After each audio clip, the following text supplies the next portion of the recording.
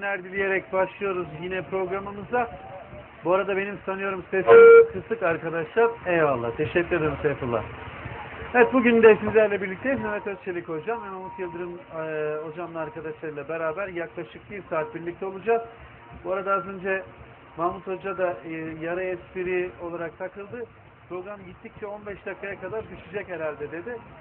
Biz son birkaç gün hep böyle rotarlı giriyoruz. Bir türlü malzemeleri denkleştirmede e, bir şey yakalayamadık hocam. Bir istikrar yakalayamadık. Bu konuyla alakalı hocam dini yorumunuz nedir merak ediyorum. Bunun hükmü nedir hocam? Vaktinde girememenin, söz verip yapamamanın hükmü Yani nedir? girersem çıkamam yalnız. İsterseniz gene de bir giriş yapayım. Efendimiz Aleyhisselatü Vesselam buyuruyor ki Şeyyedet mi sureti Hud? Hud suresi beni ihtiyarlattı diyor. Hud suresi. Emrolunduğun gibi dost doğru ol. Kema. Emrolunduğun üzere dost doğru ol. Yani doğru olmak değil. Hocam Doğrunun biz bugünkü doğru. konumuza girelim. Gerçi bu da o konuyla Biz biraz bu- bağlantılı. Bugünkü konumuza girelim. Evet. O, o ayet hakikaten çok Çok insanı yaşlandırıcı bir ayettir. aynen öyle. Emrolunduğun gibi dost doğru Yani. Allah Resulü'nün bile e, İhtiyarladığı. ihtiyarlattı dediği e, ayet herhalde bizim için çok çok daha ağır ama tam da konumuzla da ilgili zaten. Aynen Biz de oradan giriş yapalım. Aynen Emrolunduğun gibi dost doğru Dost ol diyor doğru. Allah. Bu doğruluğun adına da aslında biz ahlak diyoruz, edep diyoruz, hani adaplar diyoruz. Evet. E, nitekim Efendimiz Aleyhisselatü Vesselam ben güzel ahlakı tamamlamak için geldim buyuruyorlar. Evet. Dolayısıyla İslam'ın bize öğütlediği, emrettiği, yasakladığı her şey güzel ahlakın, edeplerin bir parçası. Dost doğru olmak da Cenab-ı Hakk'ın her manada em- emrettiği gibi dost doğru en zor şey olsa gerek. Öyle ya, bir şey benim menfaatime uyuyor ama Allah'ın hukukuna uymuyor. Hemen orada maslahat mı güdeceğiz? Efendim kendimize böyle ruhsatlar mı arayacağız? Allah yasak diyor ama aslında şöyle şöyle de. Yani Mehmet hocam burada haklı ama canım Mehmet hocamın da işte kaşları şöyle, gözleri şöyle. Zaten o şöyle bir adam da değil. Vakti zamanında o da bana böyle yapmıştı demek. Allah'ın hududunu çiğnemek ama bize göre değil. Dost doğru olmamaktır bu. Biz dost doğru olamıyoruz hocam. Biz dost doğru olmak nedir? İki, nasıl olunur? Üç, nasıl doğru kalınır? Buyurunuz. Biz biraz da ehliyet almadık herhalde veya ehliyeti rüşvetle aldık. Onun için araba kullanırken sürekli zikzak çiziyoruz. İstikameti koruyamıyoruz. Şimdi yolun ortasından gitmediğimiz gibi bir de yolun ortasının da ortasından. Onun için hayatta sürekli şarampole yuvarlıyoruz, yuvarlanıyoruz. Veya Allah korusun başkasını tehlikeye atıyoruz. Neden? Çünkü istikameti muhafaza edememekten. İnanınız mübalağa etmiyorum. Bir insan 70 yıl yaşadığı süre içerisinde hiçbir şey yapmasın sadece istikameti korusun. Ben mübalağa etmiyorum. Efe, haddim de değil. Ama Efendimiz olsa ona şunu derdi. Yani ben senin cennetine kefilim derdi. Vekili, vekalet ederim derdi. Kefilim derdi. Yani istikameti korumak, Cenab-ı Hakk'ın rızasını kazanmak da, cenneti elde etmek de ve insanları memnun etmenin de ki çünkü ben bir şu çok geçi çekiyor. Yani ya Rabbi Efendimiz Aleyhisselatü Vesselam nasıl bir şahsiyet ki arkasından milyarlar gidiyor. Hazreti İsa nasıl bir şahsiyet ki arkasından milyarları götürüyor. Hazreti? Musa Yani- evet Efendimiz Aleyhisselam'la ilgili mümin, münafık, kafir herkesin ortak söyleyeceği şey o Evet. dönemde de emin, el emin. Muhammedül Emin. Yani bir defa ona her yönünüzde güvenebiliyorsunuz. Müslüman herkesin elinden, belinden, dilinden emin olduğu kimse. Efendimiz Müslümanı da böyle tarif ediyor. Allah için hani biz bugün hasbel kadar dini hassasiyetleri olan mütedeyyin çevredeki insanlar da dahil. Muhafazakarlar da dahil. Yani muhafaza etmesi gerekenler ya muhafazakarlar. Cenab-ı Hakk'ın hakkını, hududunu, her türlü güzelliği muhafaza etmeleri gerekiyor. Toplumu, topluluğu, toprağı, her şeyi muhafaza etmeleri gerekiyor. O yüzden muhafazakar diyoruz. Tutucu değil yoksa muhafazakarlar. İstikameti korumak. Heh, muhafaza İstikameti eden adam. korumak. Şimdi onlar da bile, mütedeyyin çevrede bile birbirimizden emin olamıyoruz hocam. Evet yani bu Yani ne, bu Evet. do- doğruluk baştan böyle bir kayıp var. Hiç kimse birbirinden emin değil. Evet. Şimdi yani bakıyorsunuz hadi diyeceksiniz ki onlar peygamber ama peygambere tabi olan insanlara da bakıyorsunuz milyonları peşinden götürüyor. Yani demek ki ya Rabbi bunlarda ne özellik var ki peşlerine mıknatıs gibi böyle milyonları çekiyorlar. İşte bunlarda Allah alem sahip olan olay birincisi istikamet, ikincisi o istikametin doğurmuş olduğu güzel huy, güzel ahlak, sadakat, emniyet, huzur, vefa, kardeşini kendi nefsine tercih etme. Bu gibi hususiyetler. Yani eğer insanı insanı tanımlayacak ve tarif edecek olursak, yani insan kimdir diyecek olursak öyle zannediyorum ki insan şudur demek lazım. Aslında insan ruh bahçıvanlığında yani ruhun bahçıvanlığının nezaretinde kalp bahçesi içerisinde kalp bahçesi içerisinde iman güneşi ile İslamiyet suyu ile o kalp bahçesi içerisinde ahlak çiçeklerini yetiştirmektir. Yani ruh bahçıvanı içerisinde, kalbin bahçesinde, iman güneşi içerisinde, İslamiyet suyu ile güzel ahlak çiçeklerini kalpte yeşertmek ve ortaya çıkartmaktır. Hani aslında insan budur. Yani ahirete gittiğimiz zaman Cenab-ı Hak bizim kalp bahçe, bahçemize bakacak. Ve aynı zamanda ruh bahçıvanına diyecek ki sen kalp bahçende ahlak çiçekleri ektin mi? Ne kadar ektin? Ve onu İslamiyet'in suyuyla suladın mı? Ve imanın güneşiyle, ışığıyla sen o bahçeni ışıklandırdın mı? Işığını aldı mı senin o bahçen? İman ışığıyla. Eğer kalp bunlardan mahrum ise, o kalpte o güzelin ahlak çiçekleri yetiştirmiyor ise demek ki o insanda bir eksiklik var. O zaman ne, ne olacaktır? İster istemez orada yaban otları yetişecektir. İster istemez orada çok affedersiniz yarasalar ötecektir. Bülbüller değil yani. Hocam güzel ahlak deyince de hep şöyle bir e, yerde saplanıp kalıyoruz. Yani Evet. güzel ahlak işte sanki birkaç e, belli kalıptan öteye gitmeyen bir şeymiş gibi geliyor bize. İşte insanlara rahatsız etmemek, efendim içki içmemek, zina etmemek, özellikle de hani zina konusundan Evet. korunmak sadece ahlaklı olmakmış gibi geliyor. Oysa hayatın her alanında insani ve İslami bir duruş sergilemektir güzel olan ahlak. Bizim bu böyle bir algımızda da problem var. Yani ahlak algımızda da problem var. İşte e, iş yerindeyken yalan yere yemin etmeyi güzel ahlakın parçası değilmiş gibi algılıyoruz. Ya da ya bu bana beşe geldi işte ben de sana altıya veriyorum. Ya, bunu söylemek mesela aldatmayı güzel ahlakın parçası değilmiş gibi algılıyoruz. Yani böyle bir bilinçaltımızda böyle bir kabul var. Şimdi hatırıma geldi. Bir Allah dostu doktora geliyor. Bir güzel e, dişin, dişinde bir rahatsızlık var. İşte doktor da gayri ihtiyar efendim e, şikayetiniz nedir deyince irkilerek estağfurullah şikayetimiz yok. Bu ağrıyor. Yani Cenab-ı Hakk'ın verdiğinden nasıl şikayet eder? Hani güzel ahlakın zirvesi herhalde bu.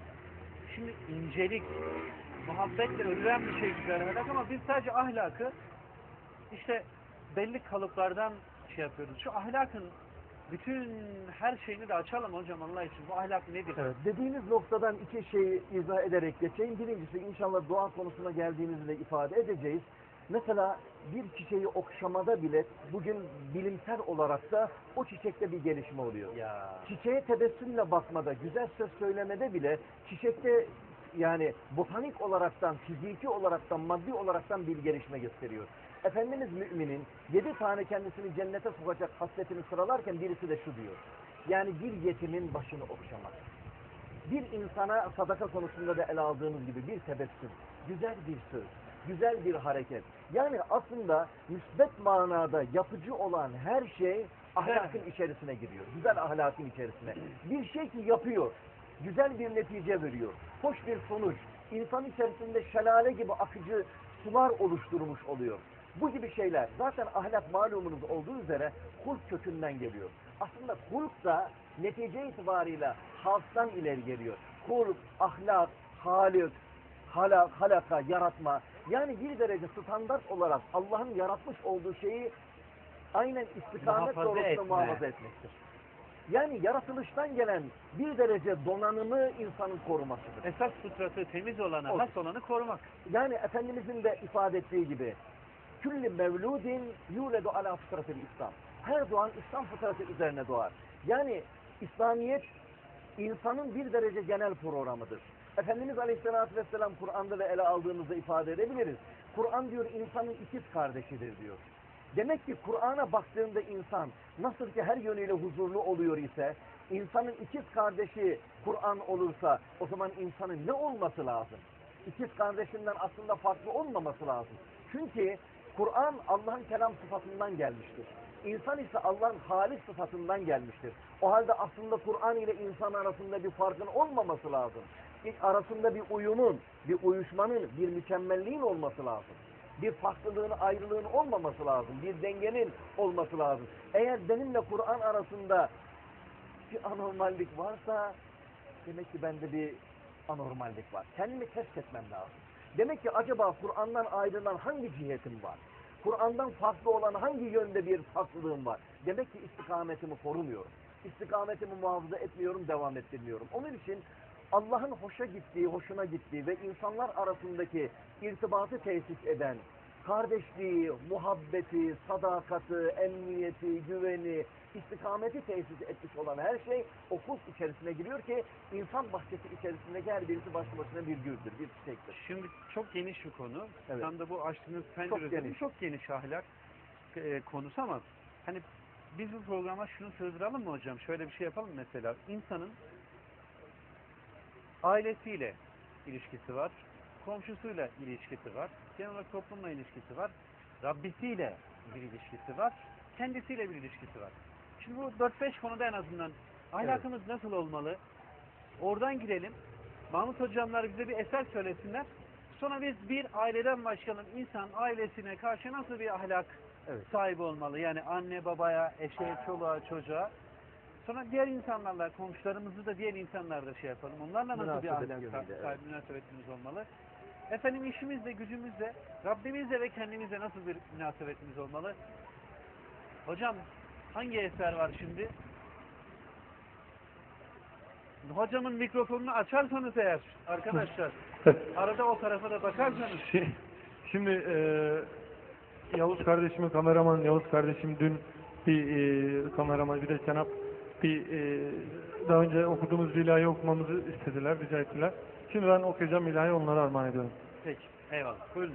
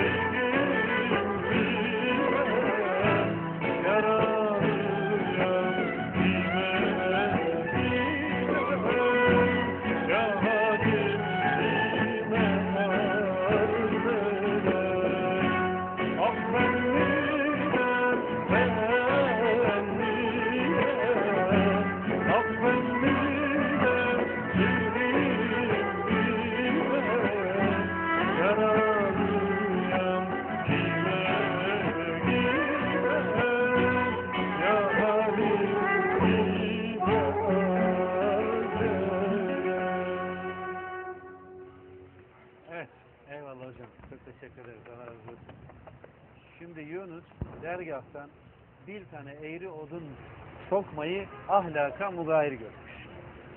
Ah ben ne diyeyim, şeyhim ne dem deyince hani insan şeyhinin dergahına bu dergaha eğri odun bile sokmaz demiş Yunus. Güzel ahlak.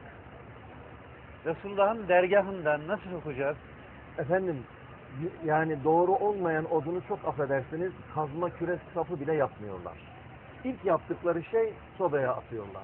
Dikkat ederseniz bir baba zaten çocuklarına ders vermek üzere ormandan ağaç toplattırıyor. Özellikle titiz davranmalarını ifade ediyor. Topladıktan sonra oğlum diyor işlerinden düz olanlarını ayır diyor. Ayırıyor. Diğerlerini sobaya at, at diyor. Onları da işte kazma sapı kürek sapı yapıyor. İşte oğlum bak böyle diyor. Hayatta doğru olmayan insanları ne yaparlar biliyor musun diyor. Bak çöpe atarlar, sobaya atarlar, işe yaramaz diye ormanda bırakır giderler. Ama azıcık işe yaranı, doğru olanı da bak alırlar. Hiç olmazsa onları bir kazmaya sap yaparlar. Onun için hani derler ya. Bir kazmaya sap olamadın. Olamadın derler. Hmm. İslamiyet olsun, İslamiyet'in getirdiği esaslar ve güzellikler evrenseldir. Size göre, bana göre diye bir olay yoktur. Bir, yani ahlaki değerlerden doğruluk herkes için doğruluktur. Güvenilir herkes için güvenilirliktir. Çok affedersiniz bakın, kumarbazlar bile kumar oynarken biri diğerine diyor ki sahtekarlık yapma diyor. Evet. Ulan mübarek senin yaptığın iş ne ki ya? Onlar bile kendi aralarında oynarken aman ha sahtekarlık yapma, yanlış yapma, bak doğru oyna diyor. Tamam da senin yaptığın iş doğru değil ki sen karşındakine doğru oyna diyorsun. O halde burada genel evrensel doğrulara, güzelliklere, ahlaki durumlara insan riayet etmesi lazım. Ondan dolayıdır ki yani insan ahlaki değerler içerisinde mesela Efendimiz Aleyhisselatü Vesselam buyuruyor ki bir insan için demin saymış olduğunuz aileden tutunuz da çevre insana kadar bir insana 40 kişi şahit olursa şehadet ederse lehinde şahit olursa Allah onu cennetine koyar diyor. İşte bu lehindeki şehadet için önce aile ile münasebetleri do- doğru kurmak gerekiyor. Şimdi Evet. o zaman giriş yapalım. Aile ile münasebetimiz nasıl olmalı? Anne babaya, eşe, çocuğa, ka- karşı eşimize karşı nasıl olacağız? Kısa ama yani Evet. bunların her birisi başlı başına bir konu aslında ama Evet. özet. Ben bazen düğün sohbetlerimde sohbet ederken gelin damata çevresindekilerine şunu diyordum. Yani aslında ben size kefil olabilirim şu noktada. İki taneyi bana söz verin iki şeye. İki şeyin de her birinde aile fertlerin birisi. Erkek desin ki ben eşime karşı hayatım boyunca sevgi göstereceğim. Hanım da eşine desin ki ben de hayatım boyunca sana saygı göstereceğim. Ben o aile hayatını sürdürüleceğine kefil olurum, garanti de veririm, sigorta da yaptırabilirim rahatlıkla. Ama bunlar tam manasıyla tesis edilmediği için hayatta, aile hayatında, hürmetle aynı zamanda sevgi. Yani erkekten eşine sevgi, eşinden de beyine karşı saygı. Bu ailede olsun yeter. Erkek de hanımının kendisi için bir emanet. Allah'ın bana vermiş olduğu bir emanet. Ben bu dün de ifade ettiğimiz gibi ailemi refikayı hayatımdır. Ebedi hayatımda ben bunu kaybetmemem için ne yapmam lazım? He, onun aynı şekilde orada da hayatımızı sürdürebilmemiz için ona karşı o emanet görevimi yapmam lazım. Evlatlar da benim için verilmiş. Güzel at koymaktan tutunuz da güzel terbiyeye varıncaya kadar ebedi ahiretini kazandıracak bütün yapmam gereken altyapıları yapmam lazım. Ve aynı zamanda şunu da aslında insanların yapması lazım. Çevresi içerisinde de geniş karınlı olması lazım. Geniş karınlı olursa insan o zaman çok affedersiniz çabuk istifra etmez. Dikkat ediniz yeni dünyaya gelen çocuk çok çok istifra ediyor. Çünkü karnı geniş değil. Hocam Buradaki anlatmak isteyeceğimi söyleyeceğim şimdi, buyurunuz. şimdi şöyle bir sıkıntı var. Şimdi geniş karınlı olmak, geniş gönüllü olmak güzel. Evet. İnsanlara tahammülkar olmak güzel ama bu devirde geniş karınlılık biraz geniş meşreplik olarak algılanıyor. Her türlü ahlaki şeyi e, çirkinliği yapmayı da rahat sayıyor. Şimdi öyle de bir sıkıntınız var. Onu açıklayalım o yüzden lütfen. Geniş Evet. karınlık demeyelim. Yani dünkü aşk, Çok da geniş olmaya aşkın- gerek yok ki. Evet. Aşkın devamı olarak da Mevlana malumunuz baza baza her anki çiğ hesti baza ger Yahudi ger Mecusi diye devam ediyor. Gel gel. Ne olursan Her ne ol, gel. ol yine gel. İster Yahudi ister Mecusi. Yani bir derece Ama insan- ille de Evet. mecusi ol, ateşe tap, kötü ol da gel dememiş yani. Bunu da, bunu da, bunu da düzgün Evet. anlamak lazım. Onun standartları şüphesiz. İslamiyet o standartları koymuş. Çünkü sürekli Kur'an-ı Kerim iman ve ameli salih. İman illellezine amenu ve amilus salihat. Allah standartları belirtmiş. Yani kendisine iman, Resulüne iman, kısacası imanın altı şartı olacak. Ama şu manada mesela Efendimiz Aleyhisselatü Vesselam geniş meşrepliden kaptım şu. Şimdi bir İslami hassasiyet var, bir insani hassasiyet var, bir ahlaki hassasiyet var. En üst çerçevesini imani hassasiyet. Bir altını da bir altını da insani hassasiyet, onun bir altını da ahlaki hassasiyet. Mesela Efendimiz Aleyhisselatü Vesselam bir Yahudi cenazesi geçtiğinde Efendimiz Aleyhisselatü Vesselam ayağa kalkıyor. Sahabi diyor ki ya Resulallah o Müslüman değildi, o Yahudiydi deyince Efendimiz Aleyhisselatü Vesselam o bir insandı diyor. O bir insandı diyor. Yani insanlar ile olan hani komşu hakkı vesaire dediniz ya insanlar olan olan nispetimizde, intisabımızda, mensubiyetimizde biraz daha o manada geniş meşrepli. Yoksa standartları koymada problem yok. Bir isterseniz yaşanmış bir olaydan yola çıkaraktan belki bazı hatırlatmalarda bulunur düşüncesiyle bir olay isterseniz Ha, yaşanmış olayı anlatayım şöyle. Dönem Mevlana dönemi. Kayserili hırsızın birisi affedersiniz bir inek çalıyor. Büyük bir baş hayvan çalıyor. İnsan ya demek ki ahlakın dışına çıkıyor. Ahlakın dışına çıkıyor. Bunun üzerine daha sonradan yaptığı yanlışın yanlış olduğunu anlıyor. Düşünerekten ya diyor ben bu işten vazgeçtim, tevbe ettim, gidin sahibini bulayım. Sahibini bulamıyor. Kimin kimden aldığını bir türlü bulamıyor. Sahibi böylece tespit edilemiyor. İnek elinde kaldı. Ne yapayım ne edeyim derken bari ne yapayım diyor hiç olmazsa Konya'ya gideyim de şey, Nevşehir'e, Kayseri'de en yakın olduğu Nevşehir olduğu için Hacı Bektaşi Veli'nin yanına gideyim de diyor. Hiç olmazsa onun dergahına bu ineği teslim edeyim. O da müritlerine bunu yedirsin diyor. Kalkıyor Hacı Bektaşi. Aramda hayır işliyor yani. Aslında Sahibini bulamadığı için Evet, yapıyor evet. belki niyeti ama. Yani fetva sorsanız bana yani elbette ki bu, bu birinci derecede o kişinin hakkıdır. O hak kişi hakkını ahirette helal etmiyorum deyip hakkını alabilir. Ama bütün yollar kapalıysa elbette ki Bu da bir yoldur. bir de bu bir de iyi olur. Hacı Bektaşi Veli'ye geliyor efendim diyor. Ben böyle böyle bir hata yaptım. Affedersiniz halk istedi. E, sahibini bulamadım. Bu da elimde kaldı. Sizin dergahınıza getirdim. Bunu burada kesin de müritlerinize yedirin diyor. Müritlerinize verin diyor. Hayır hayır evladım diyor. Bu haram şey diyor. Ben bunu alamam diyor. Bunu diyor Konya'da Mevlana var. İstersen oraya götür diyor. Ben alamam diyor. Ben müritlerime haram yediremem evladım diyor. Olmayınca adam demek ki biraz içinde sönmemiş duygu var. Bir samimiyet var. Kalkıyor oradan da Konya'ya gidiyor. Mevlana'ya varıyor. Efendim diyor ben böyle böyle bir yanlış yaptım. Hacı Bektaşi Veli'nin dergahına götürdüm bu ineği ama haramdır diye almadı. Size havale etti. Bu alır mısınız efendim diyor. Olur olur evladım diyor oraya koy diyor.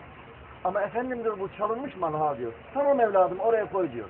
Ama efendim bunu Hacı Bektaşi Veli almadı ha diyor. Tamam evladım oraya koy. Adam bir türlü merakını, hayretini gideremiyor. Efendim diyor özür dilerim ama diyor, özür dilerim ama diyor, onun almadığını, haram olan bir şeyi siz niye alıyorsunuz diyor. Siz niye alıyorsunuz diyor. Mevlana büyük insan ya, hep tevazu, toprak olmuş. Hep kendisini küçük göstermiş. Hiç dik göstermemiş. Gurur, gurur denilen olay onun semtine uğramamış.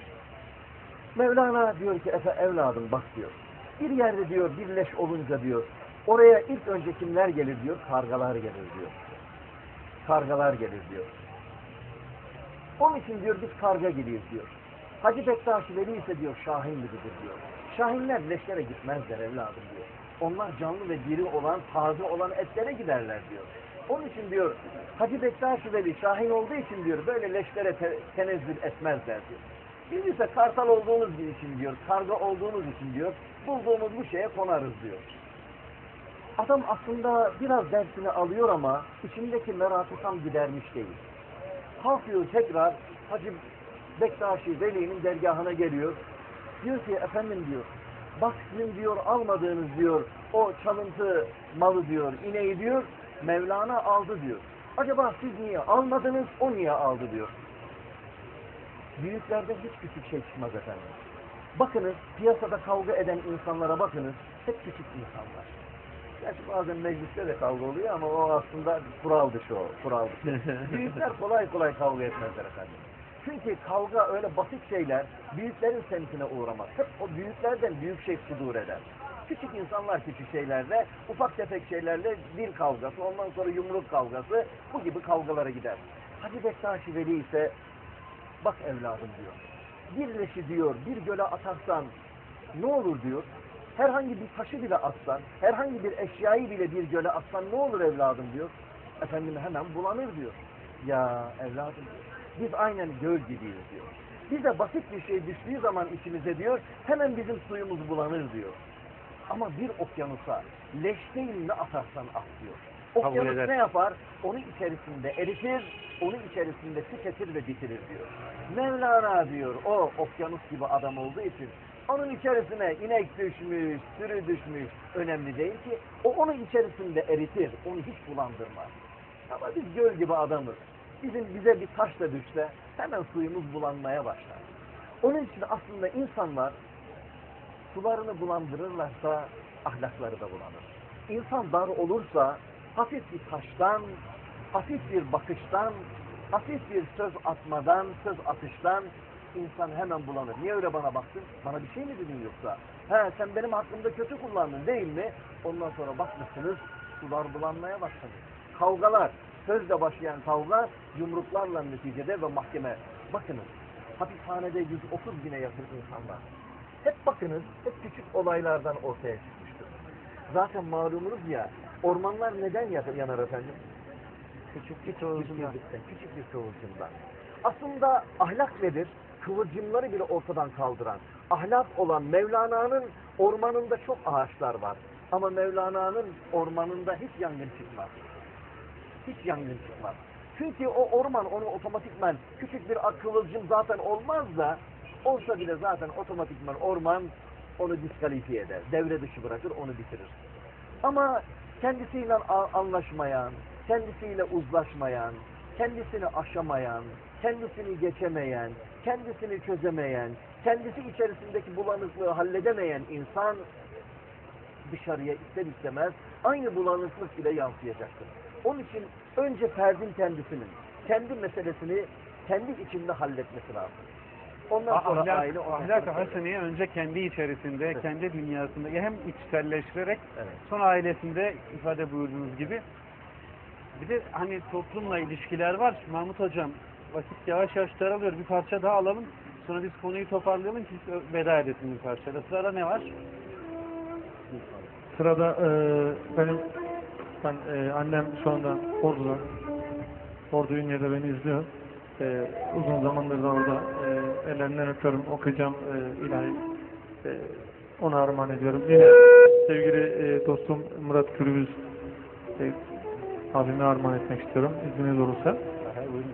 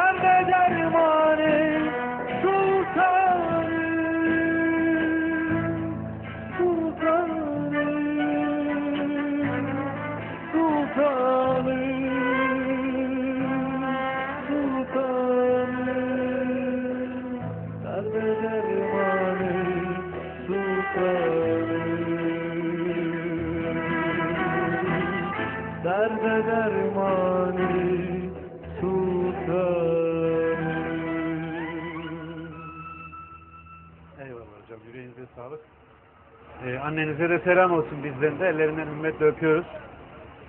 Aleykümselam. Söylerim. Eyvallah. Eyvallah. Hocam, aileyle münasebet, kendisiyle kişinin münasebetine dair değindik. Vaktimizde az bir parça daha alacağız bir. Öyle veda edeceğiz. Şimdi en azından çevreyle yani komşular başta olmak üzere çevremizle nasıl bir ahlaki münasebetimiz olmalı? Nasıl davranmalıyız? Yani komşumuzun her şeyine uyuz oluyor ya da onlara uyuzluk yapıyoruz. Nedir bu iş? Nasıl düzelteceğiz biz bunu? Artık tahammül sınırları da çok daralmış. Şöyle bir söz var. Denilir ki kem alat ile kemalat olmaz. Kem alat ile kemalat olmaz. Alat malum aletin çoğulu. Yani kötü alet ve vasıtalar ile kemalat ve şey mükemmellik çıkmış, olmaz. evet. Eyvallah. Kötü ahlak ile, kötü hareket ile, kötü davranış ile ne komşularla ne de başkasıyla bir münasebet olmaz. Demek ki o zaman güzel ahlak, güzel huy, güzel davranış, hoşa gidecek durumlar. Onun için bu da ne iledir? Olumsuzluklardan kaçınmak. Mesela ne gibi? Hocanın birisine sorar gencin birisi. Kötü, bozuk yayın yapan bir televizyondan dolayı hocam der, televizyona bakmak der orucu bozar mı der kötü yayın olduğu için televizyona bakmak orucu bozar mı hocam der. Hoca der ki evladım der televizyona bakmak oruç bozmaz ama der ahlakı bozar der. Yani onun için ahlakı bozucu olan faktörlerden kişinin kaçınması lazım. Ne kendisi için ne de başkası için. Yani Efendimizin de buyurduğu gibi kendiniz için istemediğiniz bir şeyi başkası için de istemedikçe olgun bir mümin olamazsınız. Yani komşumun yaptığım şeylerden hoşnut olmadığı şeyler ne ise eğer o benden hoşlanmıyorsa hangi durumumdan o zaman da benim de onun için aynı olumsuz davranışları yapmamam lazım. Yani burada aslında şunu da örnek verebilirim. Belki zamanı biraz aşmamak için özetlemeye de çalışırım. Bazen gençlere anlatsam mı anlatmasam mı diye çok şey yapıyordum aslında, düşünüyordum. Bazen de anlatmamaya çalışıyordum ama neticesinin faydalı olduğunu gördüğüm içindir ki anlatmanın da yararlı olduğunu gördüm. Mesela Efendimiz zamanında bir Cüleydip var genç. O durumunda genç ya. Demek ki gençin çılgınlığı var. Bir gün Efendimiz'e geliyor diyor ki ya Muhammed diyor. Ben zina etmek istiyorum diyor. İzin istiyor Allah Resulü'ne. Ya Muhammed diyor ben zina etmek istiyorum. Yani demek ki de gencin bir çılgınlığı var. Yani ben bakıyorum da bu zamandaki gence ışık tutması açısından aslında o olay güzel bir tablo oluşturmuş oldu asr-ı saadetteki. Bunun üzerine tabi sahabi küfürüyor. Nasıl olur da böyle bir şey sen dersin kabilinden? Efendimiz o bütün asırları gören Efendimiz Aleyhisselatü Vesselam hepsini teskin ediyor. Durun diyor. Söylesin diyor. Ve Efendimiz ona diyor ki bak Züleylit diyor. Birisinin diyor aynı durumunu kız kardeşine yapmasını ister misin? Hayır istemem ya Resulallah. Birisinin aynı durumu annene yapmasını ister misin? Hayır ya Muhammed diyor. Birisinin teyzene, halana, yakınlarını sayıyor. Onlara yapılmasını ister misin? Hayır ya Resulallah. Anladım ya Muhammed diyor.